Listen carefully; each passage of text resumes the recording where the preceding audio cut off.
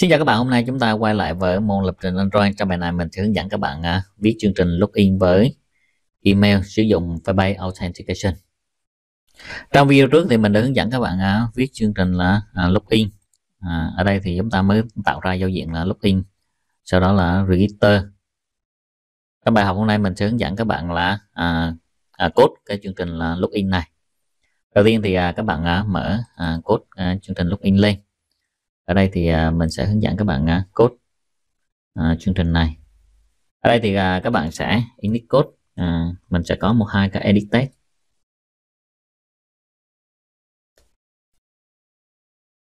ở đây mình sẽ đặt tên là edit email.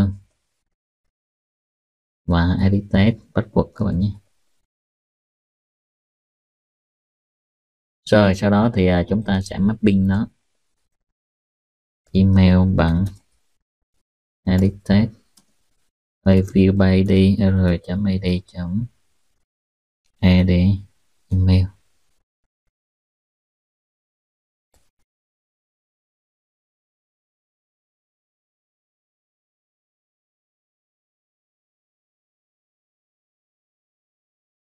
Bắt buộc rồi để đăng nhập được với à, à, Firebase thì ở đây các bạn sẽ mở cái Firebase lên. Các bạn vào phần à, Authentication. À, ở đây thì à, các bạn à, chú ý mình phải à, add cho nó một cái user. Lúc nãy là mình à, có add một cái user với password. Sau đó thì à, mình sẽ bấm qua là Sign up này. Ở đây mình sẽ enable cái này lên. À, các bạn chú ý nha và ở đây chúng ta sẽ enable là email link. Enable cái này lên các bạn khi bạn enable cái này lên ấy, thì nó sẽ báo cho các bạn cái này, này. đây. À, mình sử dụng là Android Apple hoặc là web. Các bạn bấm vô Android. Thì nó sẽ cho mình cái hướng dẫn và sau đó thì mình lưu lại các bạn nhé. Lưu lại này. Thì qua cái phần, phần, phần hướng dẫn này này à, các bạn thấy à, chúng ta cần phải add các thư viện này vào này. Trong cái dependency thì chúng ta phải có một cái bom này cái file out này và một cái là flight service out 21.0.0.0 ở đây thì các bạn phải copy ba cái thư viện này vào này. Bạn bấm Ctrl C này. Sau đó bạn mở qua Android Studio này. Các bạn sẽ vào uh, uh, Gradle. Này Gradle module app này.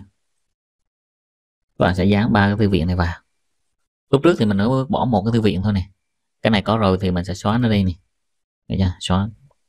Có rồi thì xóa nó đi. Mấy cái này mình không cần. Cái này chưa có thì để lại. À, đó mình sẽ có ba cái thư viện này các bạn nhé. À, để chứng thực thì có ba cái thư viện này. Sau đó thì bạn bấm à, xin now. Tiếp theo thì à, các bạn sẽ vào cái phần à, login. Ở đây thì à, mình đã à, có là email và chúng ta đã bắt pin rồi. Ở đây các bạn sẽ khai báo cho mình một cái là à, private bay bậy out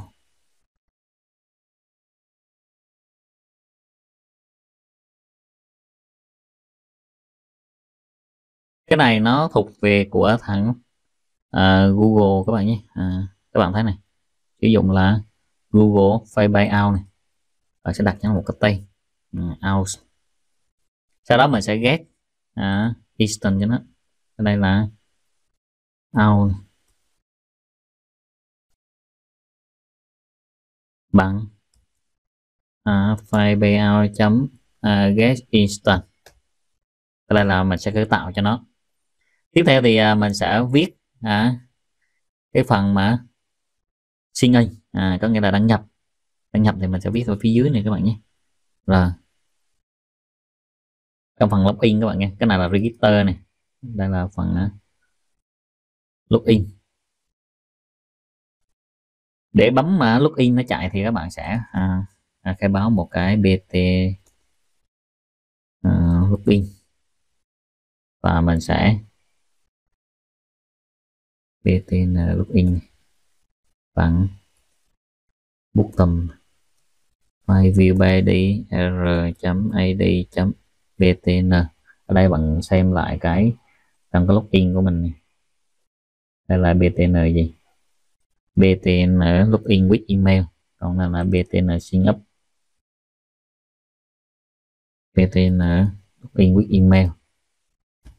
Rồi sau đó thì à, các bạn sẽ btn login chấm set on click listener bằng new view on click listener. Trong này thì à, các bạn sẽ gọi out chấm à, sinh là, là sinh in with email và password này.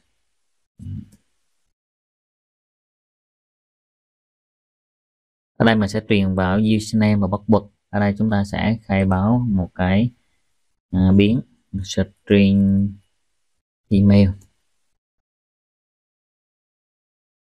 Bằng a à, email chấm get text chấm. To string à, string pass bằng ad password chấm get text chấm to string và ở đây thì à, các bạn sẽ truyền vào email và pass sau đó thì các bạn chấm add on complete. Ở đây thì à, các bạn sẽ truyền vào à, login activity. À, chấm xích. Phải. New. On complex listener. Và ở đây thì à, mình sẽ kiểm tra à, if này. if mà task chấm y successful thì à, các bạn có thể là toát nó ra. À, get application contact phải à, login thành công. Toát chấm. Chấm short. Chấm show. Còn ngược lại thì à, login không thành công các bạn.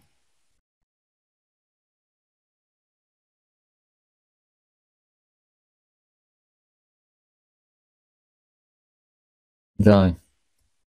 Sau đó thì các bạn có thể là chạy thử chương trình. Các bạn chú ý một điều là khi mà chạy cái này mà trên emulator thì nó không chạy được các bạn nhé. À, cái này không chạy được trên emulator thì các bạn có thể là test thử cái máy thật của các bạn. Ở đây thì mình sẽ chạy thử chương trình. Ở đây mình sẽ sử dụng ừ, à, mà uh, LD player. Sau đó mình sẽ chạy chương trình. À, chương trình của chúng ta sẽ chạy lên như thế này. Đây mình sẽ bấm là login và mình sẽ nhập vào email. Email của mình đăng ký lúc nãy là namnv@gmail.com và bắt buộc là à, namnv 123456 sau đó mình bấm là à, looking à, đã có lỗi xảy ra các bạn. Ở đây mình sẽ xem phần phần lock nó như thế nào. Bạn sẽ vào à, lock cache và mình xem lỗi gì xảy ra.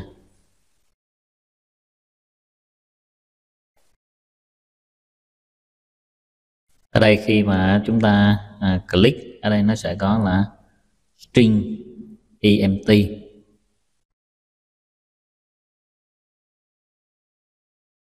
rồi ở đây là do một cái email và bắt buộc của chúng ta nó, nó đang bị uh, bị nôn các bạn. Ở đây thì à, do là mình gán dữ liệu ở đây. Khi mình gắn dữ liệu ở đây cho nó chạy thì nó sẽ chưa nó sẽ chưa có dữ liệu các bạn. Đây thì mình sẽ cất nó ra ngoài nhé. Ở đây sau đó thì à, mình sẽ copy cái này. Sau đó mình sẽ xóa nó đi.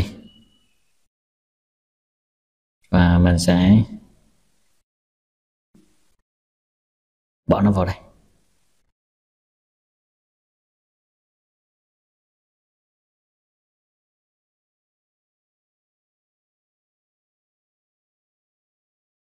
Rồi, tương tự thì à, chúng ta sẽ copy đoạn này.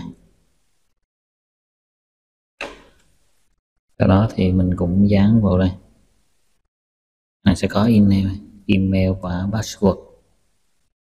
Ở chỗ này thì à, các bạn đã copy lên rồi thì chỗ này chúng ta xóa đi các bạn nhé.